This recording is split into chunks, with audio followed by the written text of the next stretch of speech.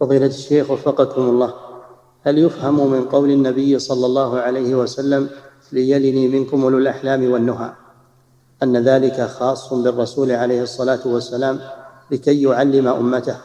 أما الأئمة الآن فيجوز أن يليهم غير أصحاب الأحلام والنهى.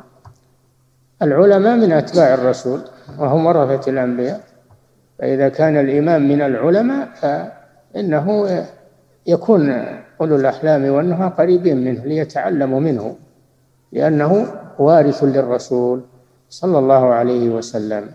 وعلى كل حال القرب من الإمام مطلقا سواء من العلماء أو من غيرهم القرب من الإمام فيه فضل عظيم. يقرب من الإمام. نعم. فضيلة الشيخ وفقكم الله يقول أيضا الإمام لو يحتاج في صلاته إلى من إلى من يخلفه لو عرض له شيء. إذا لو لو أغلق عليه القرآن يحتاج إلى قارئ يعني يفتح له القراءة.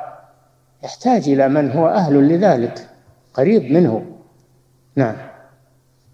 إعداد مشروع كبار العلماء بالكويت أعزها الله بالتوحيد والسنة.